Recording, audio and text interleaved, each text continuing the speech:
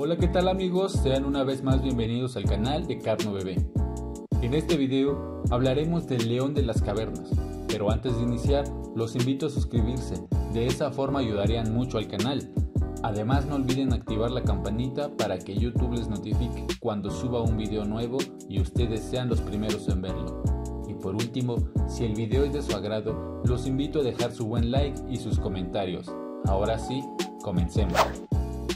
León de las cavernas, que su nombre científico es Pantera leo spelaya, también llamado león europeo de las cavernas o león eurasiático de las cavernas, es una subespecie extinta de león que habitó en Europa en el Pleistoceno del periodo cuaternario.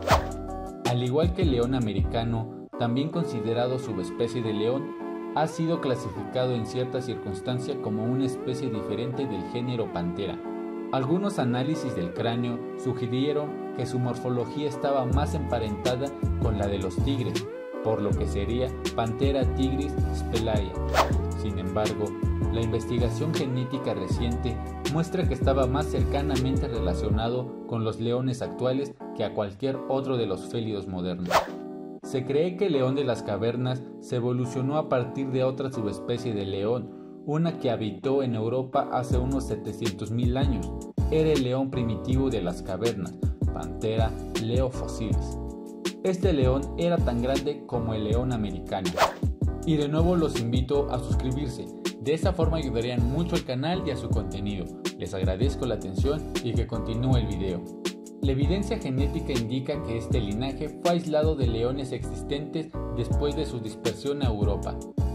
El león de las cavernas vivió entre hace 370.000 y 10.000 años durante el Pleistoceno. Al parecer, se extinguió unos 12.500 años atrás.